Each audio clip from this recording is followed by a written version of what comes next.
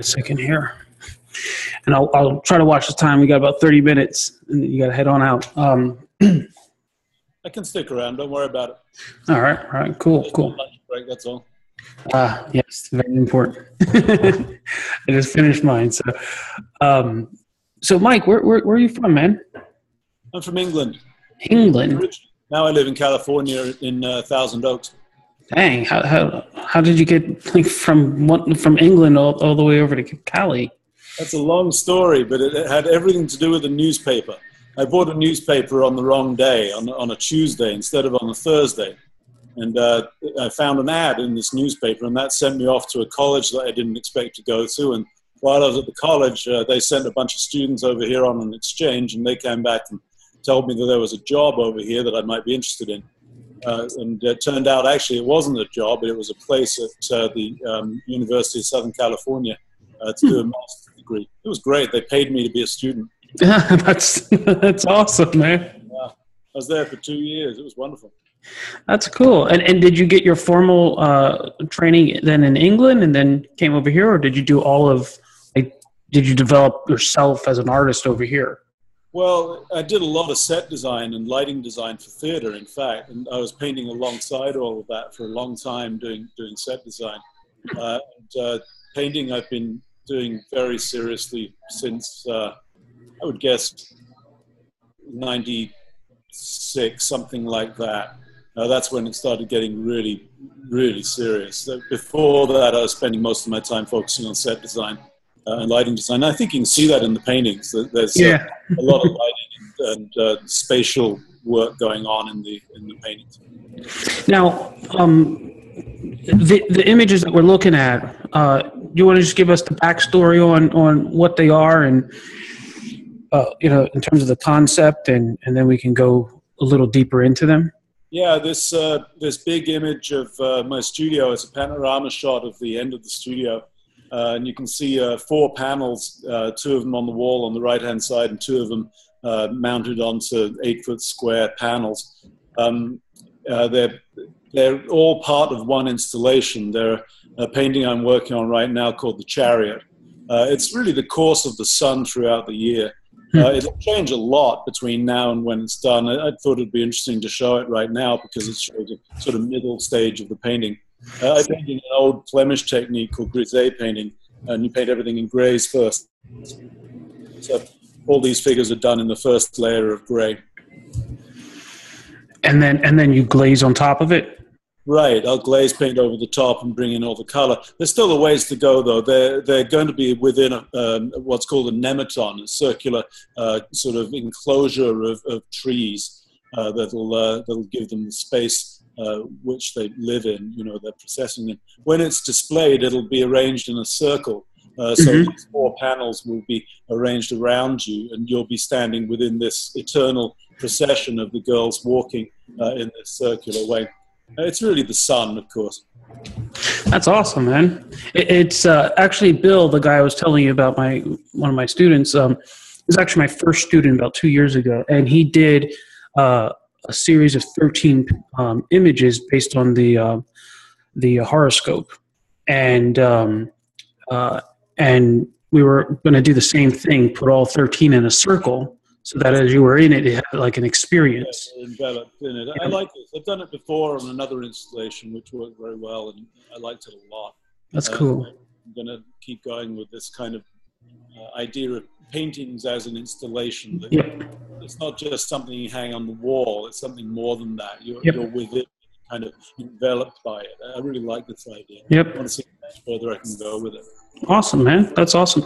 That's uh, something we, we talk a lot about at the academy is when you're composing a work of art, um, that it, it's there's this concept in the South called spit and image, and and and it comes from this idea of uh, meaning spirit and image. And so you might say to somebody, man, that, that boy is a spitting image of his dad, or they might say a spitting image, right? Or a spirit and image of his dad. And so he looks like his dad, but he also, when you're standing in the presence of the of the son, you feel that you're in the presence of the dad, right? Yeah. Um, and and learning how to like capture that in your artwork, so it just doesn't give you the visual experience of oh that's what that is. But then it gives you that that visceral experience. Like you actually feel you know that you're either in that piece where it's broadcasting something uh, beyond just what you see. And right. Right. I want the paintings to do exactly that. I, I want you to enter the world of the paintings. The paintings should uh, should really catch your attention draw you in uh, so that you're participating in the in the world, right? I think paintings that just illustrate something that really very interesting. I want them to be more than that. I want you to have an idea from the paintings and really share the idea. So the the um, the figures in here are very contemporary, um, and and so you said that they were going through the four. I think you said the four seasons, right? Um, and so let me ask you here which ones the ones over here on the on the left um, yeah, the, the, paintings in the studio right now are a little out of order uh-huh. uh, so it could be a little confusing the first one over there on the left hand side is actually winter the one where the cursor is right now uh-huh. and uh, this one that you're at now is uh, is summer uh, then this one over here uh, is uh, spring and then this one is fall or autumn if you're in Europe. we'll put an A there just so it doesn't look like I, I graded it an F. Um, you got an A. Um, yeah, autumn is a cooler word too. The um, so then conceptually, what are you doing in terms of your ideas? Um, let, us start with the winter one. Uh, I think I have um, a closer, like a close up of it here. Hold on. Ooh. Yeah, this uh, this figure is uh, the that first one. There, yeah, there you go. Mm-hmm. She's uh, she to me, she's the the girl alone. She's the sun that's been that's died and is coming back. Mm. Uh, resurrection of the sun hasn't happened yet. That's going to come in the next image. You go to the next shot. Let's say from the same panel. Yep. Uh, yeah, here we are. Uh, and in this one here, you're seeing the uh, the girls gossiping. There's this kind of slightly insidious uh, feeling about it. It's a bit backbiting and gossipy and a bit mean, mm-hmm. mean spirited sense to it. Uh, and uh, that that figure on the right in that particular shot, uh, you can see her. She's beginning to start drinking and having a party. Yeah, let me see here. Um, if we can, I don't think I have that image of her.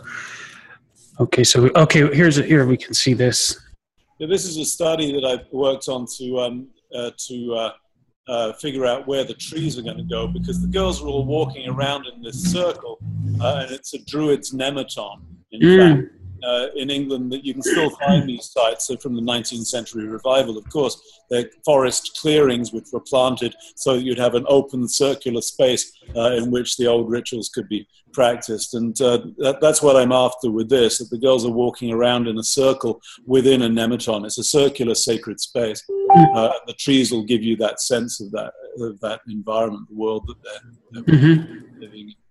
You'll also see foliage in the foreground. This is uh, not there at the moment at all. I have six more months to finish the painting, uh, so that'll all start developing in the next few months.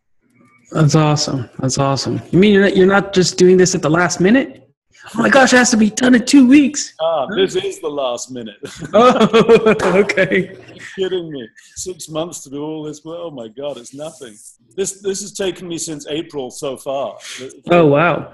Figures that are nearly done, and uh, I, I, guess you could calculate how many figures I can do in a week or whatever. yeah. Wow. Wow. And now the other paintings that are going to be part of this show, you still have to complete them as well.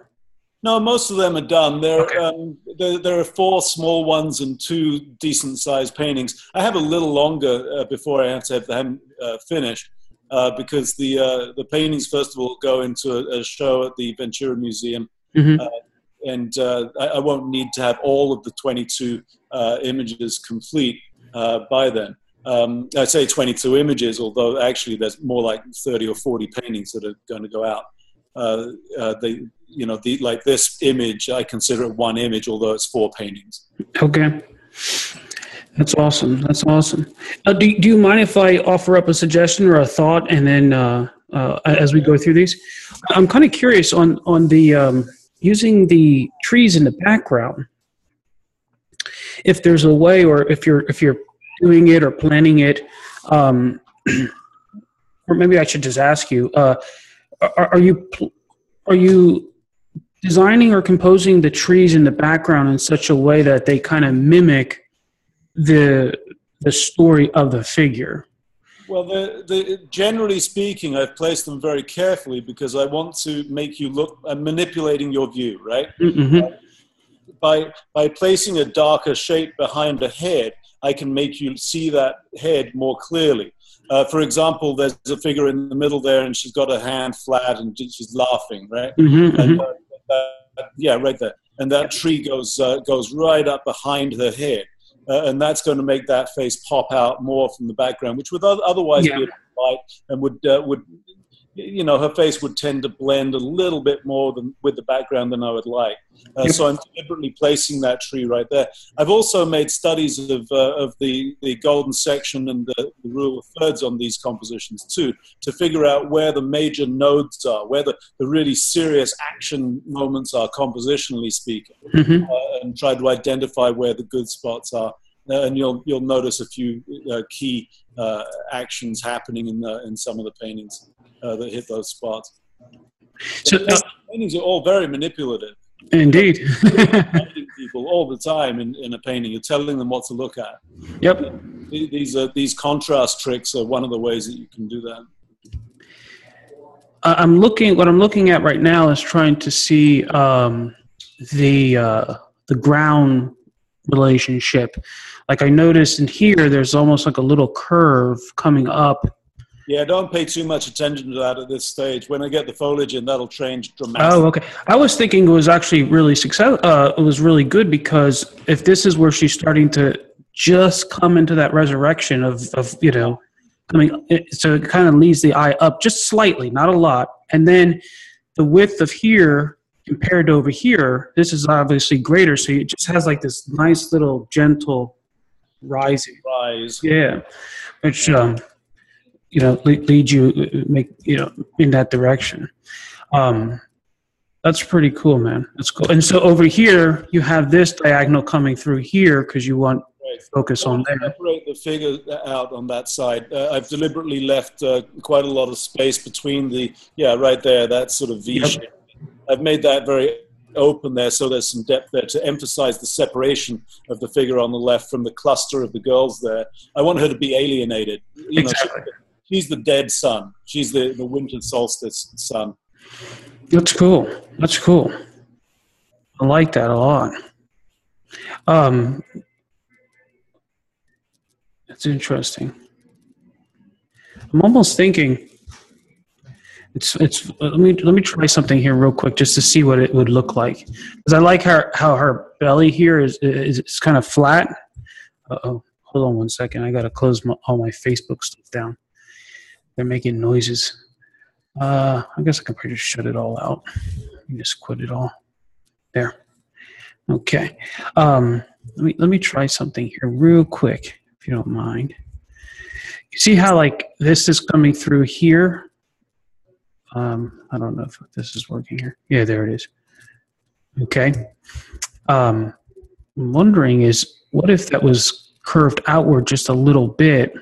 you want to make a show in the beginning of pregnancy, huh? Well, well, well. Actually, maybe, uh, but she's not pregnant here, right? No, no, no, she's no, no. thin. I, I, routinely make my figures tall and thin, uh, but there's a, a, strong theme of pregnancy in the uh, in the painting. In fact, uh, uh, later on in the in the seasons, you'll see you'll see more of the uh, the pregnant figure coming. Okay. Uh, the reason why I was uh, suggesting that maybe it bowls out just a little bit, so she doesn't look pregnant, but she, you know she still looks thin, is having basically. Uh, where am I here?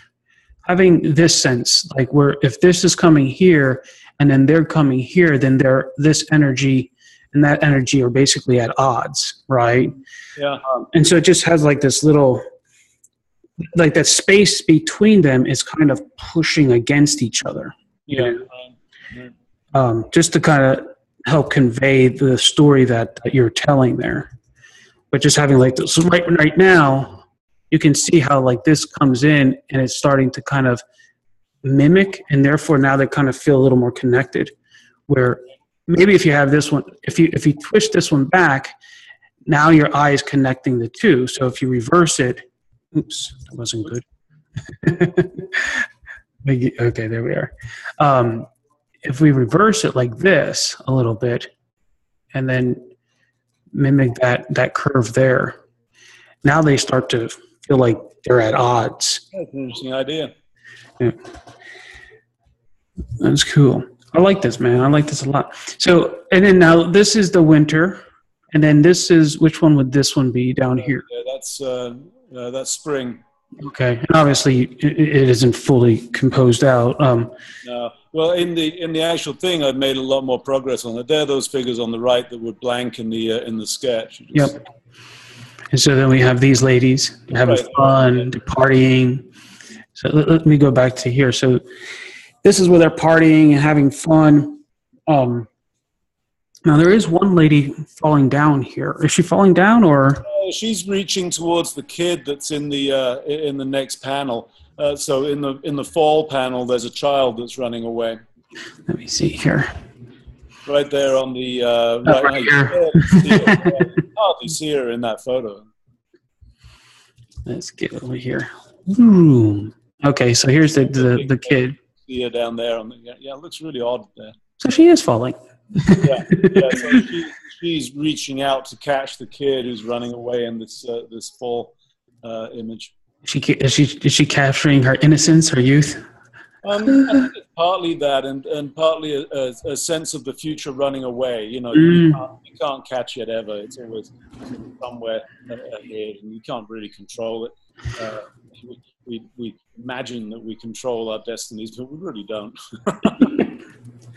We only control the fact that we pretend that we do. yeah.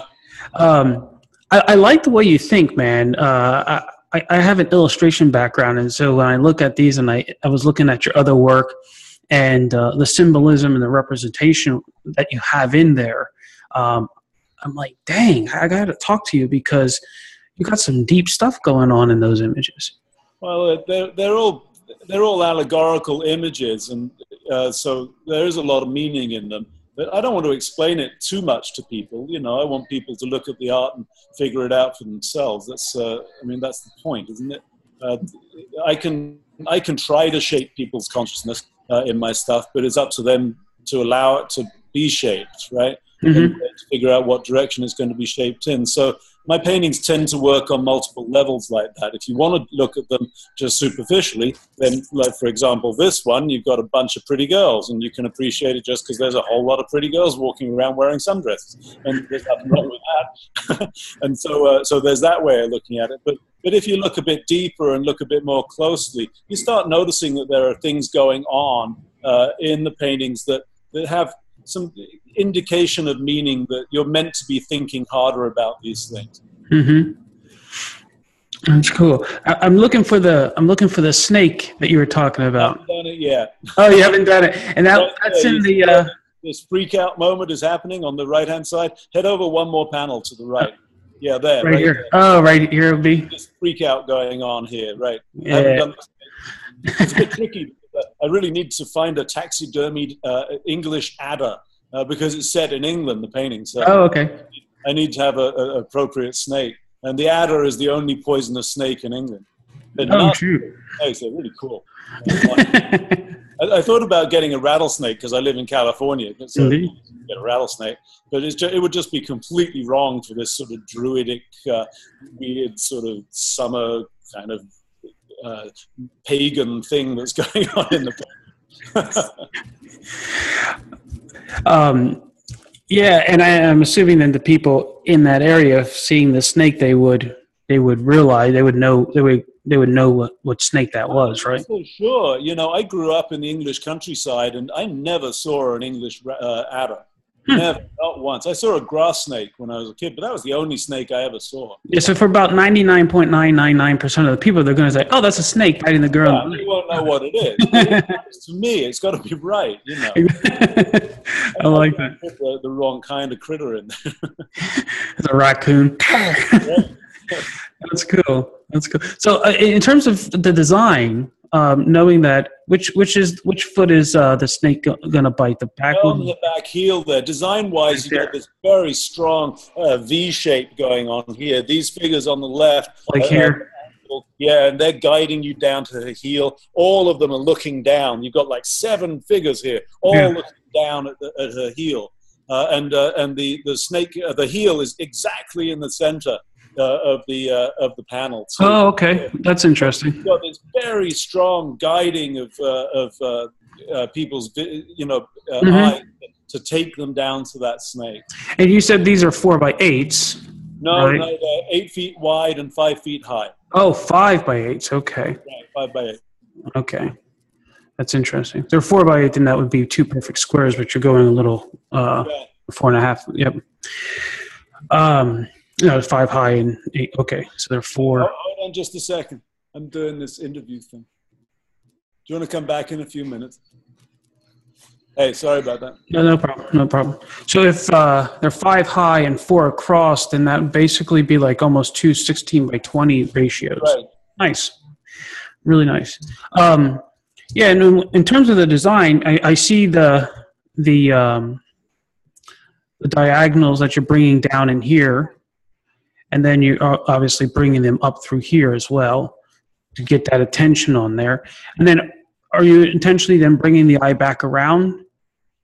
Um, Um, not not particularly. I, I, I really like the hand structure here. You've got four hands that make a cross in this particular image. Do you have a shot of that? Uh, let me see. Do, do, do, do, do, do. Uh, nope. No. Well, you won't have it in that one. I didn't I hadn't painted that stuff yet. Yeah, there you go. Go go back one. There. Right there. Okay. You, you see how these hands form a cross. It's kind of cut, cut off at the top there, but you get the idea. So this hand here with the uh, the, the, the the shirt that I haven't, uh, the dress that I haven't finished painting the pattern on yet, uh, on the right hand side, her hand is leading you down directly into the leg at the bottom left hand corner of this image. Okay. So this is where we want to be. heel- that heel there is. Oh yeah, you're saying here, right? Yeah. Yeah, she's Okay. basically pointing at the snake and looking at the snake, and and then all all of these four figures are, are looking down towards the uh, the snake. But you also have this rather interesting cross going on, which I really like a a lot. There's this uh, this allusion to uh, to Christianity, I think. There, uh, I'm not I'm not particularly a Christian person, but but it's culturally been so significant that I want to point that out. Yeah. Of course, the snake bite is an allusion to Eden, right, in the Garden. Eden. That's cool, man. That's cool. Uh, and then you have, um, so if you had this here, bring these nuances. Yep. That's cool. I love her face. the whole painting's a great big freak. so th- then, then this is the, uh, the moment of conception. Then this is, she, yeah, in, in the pregnancy theme that's that's there in the uh, in the painting. This is- That's neat. So she gets lonely and she gets pregnant. um, and then, uh, now in, in the whole, let me see here real quick. So walk us through that, that, that concept through the four panels. Um, right. so here, she, in the winter, she's by. Yeah. Right. So there in the winter, she's uh, she's alone. It, it's kind of gossipy. They're laughing at her. The the, the figure on the left in the dark shirt. The, uh, then uh, then where are we then? Um, uh, then uh, spring, the second one from the right. Yeah. This one here. yeah, spring. That's where uh, her heel gets bitten, and uh, but there's, there's also this sense of letting her hair down. The figure on the far left there is letting her hair down, and and uh, then the figure on the right is Yep. holding flowers. I didn't want it all to be, oh my god, she's been bitten by a horror. I want to, I want them to lead from one panel into the next. Uh, so then you go back over to the left here, where it's summer, and that's a great big party. They're having a great time with a couple of, of little secrets in there. Uh, the girl who's crouching down is reaching for a child, uh, as we mentioned earlier on. Mhm. The girl on the right hand side, I think you have a closer shot of that one, uh, of, of the figure right there. Yeah. Oh, right here? Uh, um, yeah. Let me get over here. All right.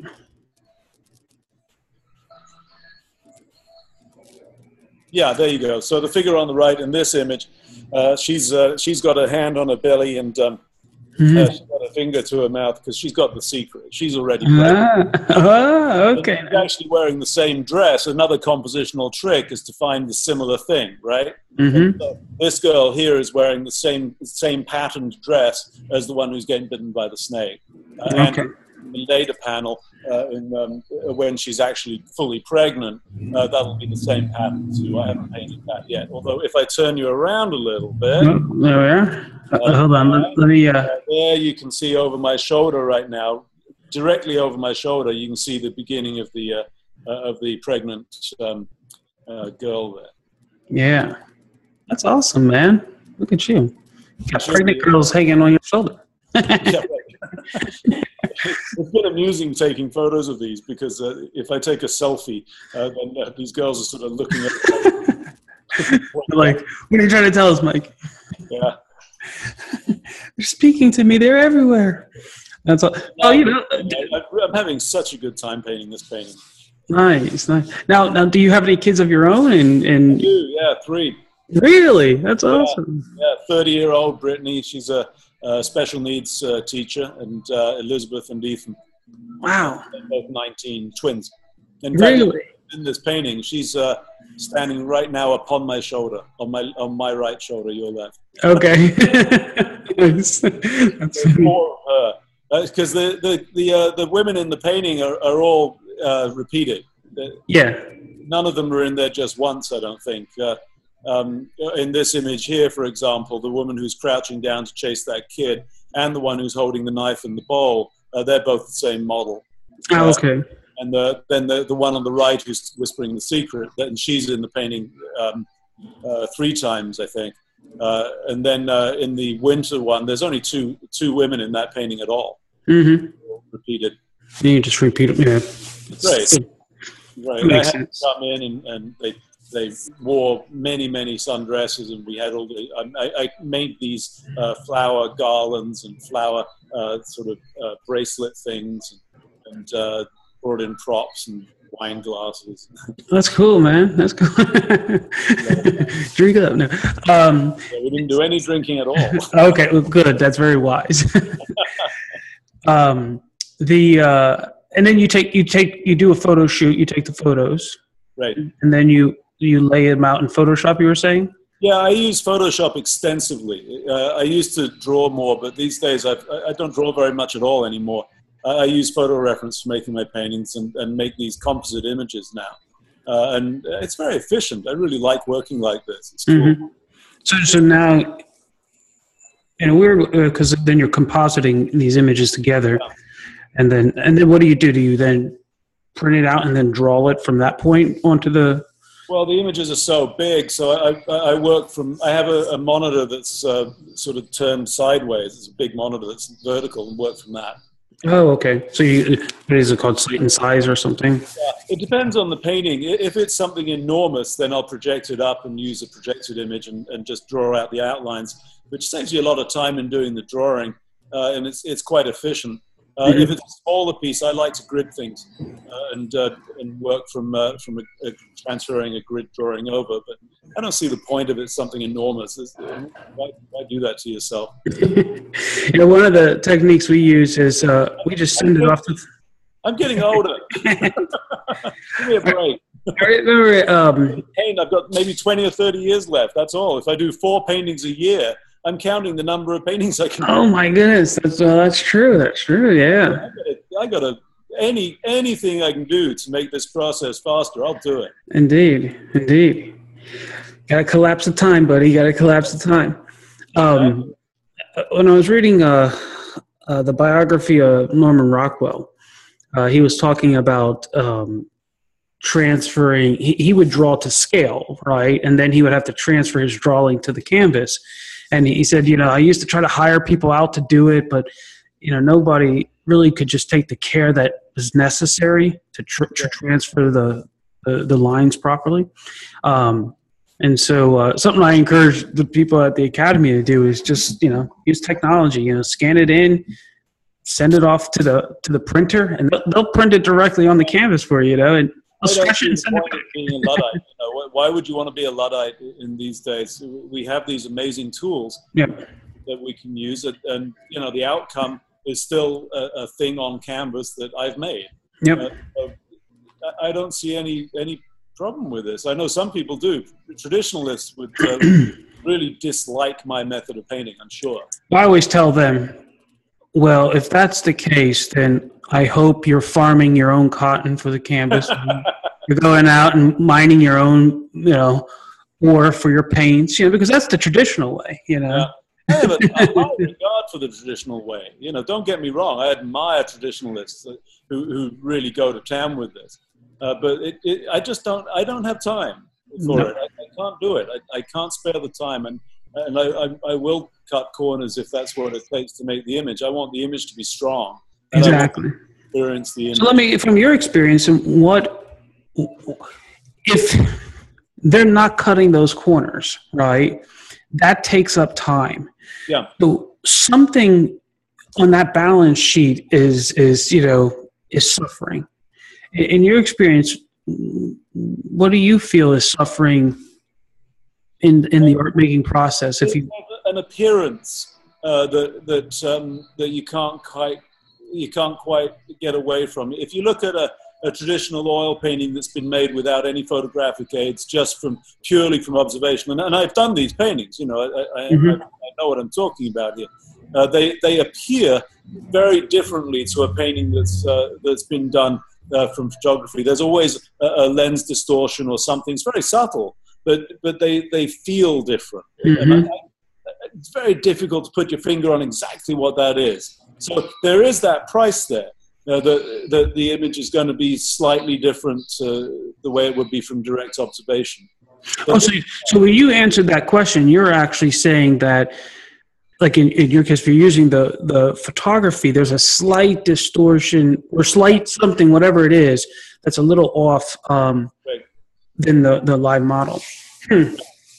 And you have to be careful of that. When, when I shoot, I'm very careful to be consistent in my lighting and the position of where I am, you know, my, my camera angle. I, I try to be as consistent as possible uh, in order to avoid that. So that although there there's lens distortion, at least it's consistent lens distortion yeah, yeah. around the image. You know, I, I it's it's strange. Um, I'll stare at a piece that I know um, reference, like photography reference, was used, right? And I'll stare at it, and I'm looking for my eye to just begin to automatically shift. I call it a glimpse and a lot of times it doesn't happen. And it's because the photography takes like this still, it, it, it, creates, it creates like this still image that's frozen. Right. And when you copy that, that's what happens is it's frozen, you know? Yeah. Now, if you're dealing with a model, they're going to naturally have these little tiny shifts. Yeah. You know? Yeah. And then you but bring on the other hand, though, photography has this this amazing ability of capturing the peak performance. You, you know the sculptor Richard MacDonald. I was talking to him about this uh, a, a, few months ago, and he, he likes to capture the moment of the heightened activity of the, of the body. And that's very difficult to do with a live model. You have to have that model there for days working on it, to do it over and over again, uh, and, um, and to, to, to be a, a really great at capturing that, that split second of peak. Right? And the camera can do that with more ease. And um, uh, I know what I'm looking for in the images. Mm-hmm. I, I, have a very, very good idea of what I'm after, what I want the model to be doing, uh, and so I'll, I'll, I'll play tricks on them. I'll, I'll have them like pull faces and, and, then suddenly get back into that moment that I'm actually looking for, right? Mm-hmm. I'll, I'll, have them shake everything out and then suddenly get back into exactly the pose and repeat that over and over again until I get that sense of, of the peak. Mm-hmm. Uh, that moment of performance, which is what I'm looking for. That's uh, awesome. Uh, what's that? I said that, that's awesome. That's oh, awesome. Uh, yeah. yeah. it works pretty great. Uh, but you end up with thousands of photographs. when I when I used to do, uh, I was younger. I used to do caricatures, and um, and the the person would sit in the seat, and and the parents or whoever be like, smile, you know, and and and they had this cheesy smile. Yeah. I used to hate it. Appearance, right? So I would just that, in my opinion. You, you want to keep away from that, that frozenness. Oh my gosh, absolutely. So I, I, I learned a little trick, which was, which was to bore the hell out of them, right? And, and, and, they go like this, and I let them smile like that because it hurts after a while.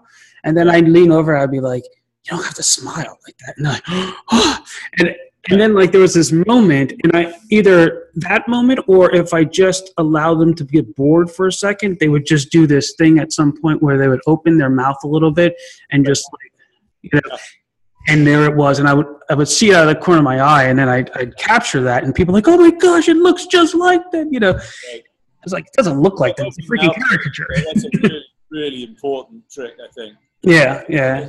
It emphasizes the line of the mouth and, and it makes it a deeper, darker uh, shape. Uh, if, if people are pursy lip, then you, you just don't get the character of the mouth, and the character of the mouth is so important. Yep.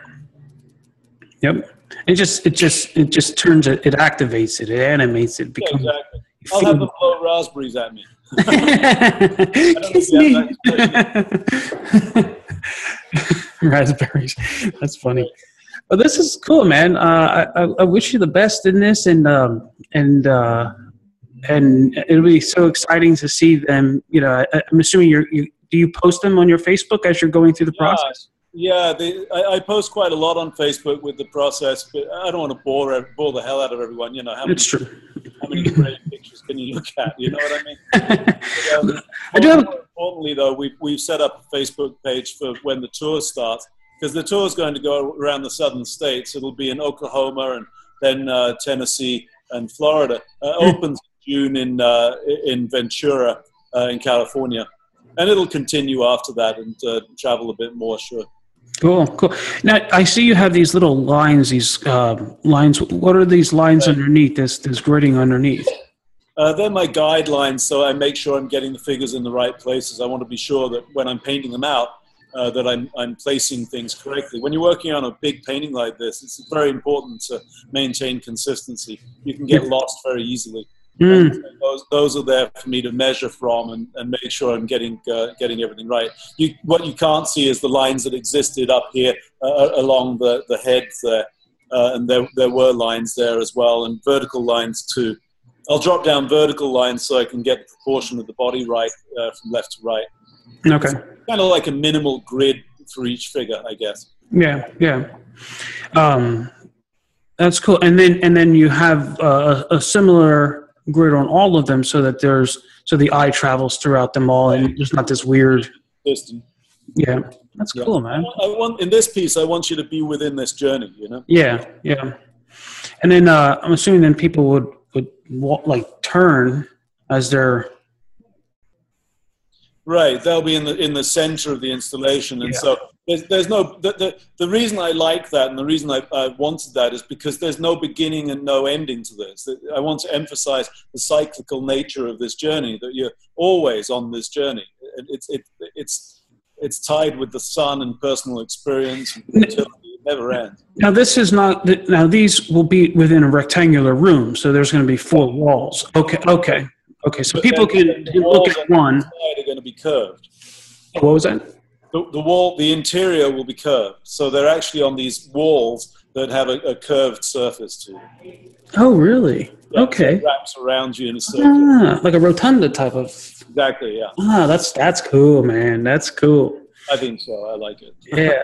It's nice. The nice thing about it also is that in galleries that don't have enough wall space, you automatically you're creating four more walls, and you can hang stuff on the reverse side of the walls, right? Okay, true. Oh, so so then the walls you you actually are creating the walls because that's part of the installation. That's part right. of the pro- ah. Okay, nice, nice, nice. Very cool, dude. that's like cool. Nice, nice, nice. Uh, so, do, do, your kids are they into uh, the arts as well? Uh, well, you know, you try, don't you? but uh, no, neither of them particularly into it. it. My son really draws beautifully. He got into doing anime uh, mm. drawings, and uh, he has an Instagram account. He posts these things on there.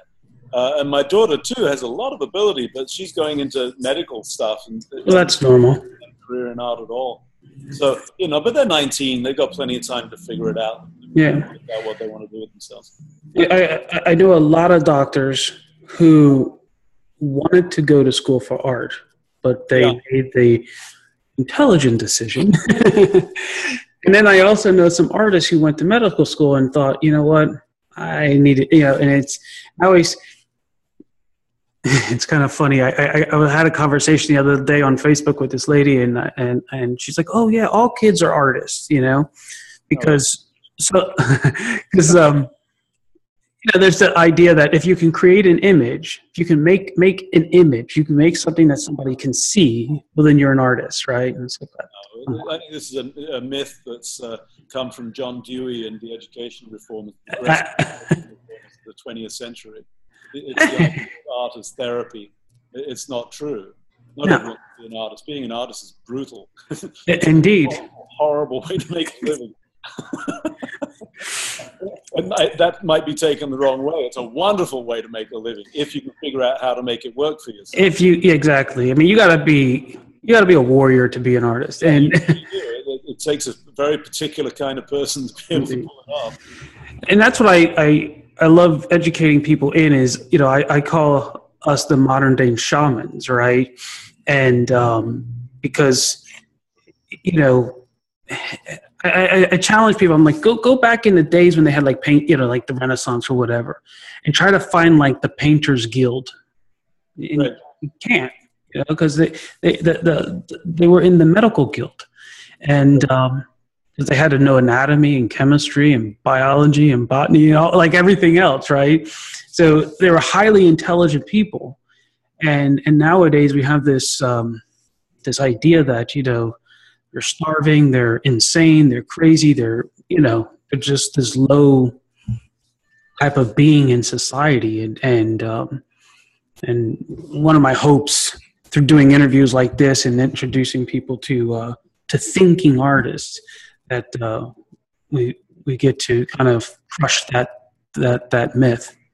And um, so, Mike, I thank you for your time. Um, and uh, this was this was cool, dude. This was really really cool. Uh, uh, It's a pleasure doing it. I hope it's uh, it's useful to people. it, it will be. It will be. So I'll, I'll go ahead and post it then tomorrow um, for our Friday. Uh, usually I post them on Fridays, and uh, and do get an interview with Bill. He's he's a far better interviewer than I. I, I enjoyed myself. well, thanks, man. I I, I kind of learning from him a little bit, and um, but but he's a great interviewer, and you have a great time with him, and uh, and he'll get more basically into your story. We talked about the artwork, so um, it'll be cool. All right, man. All right, dude. Have a good one. Thank you. yeah, bye.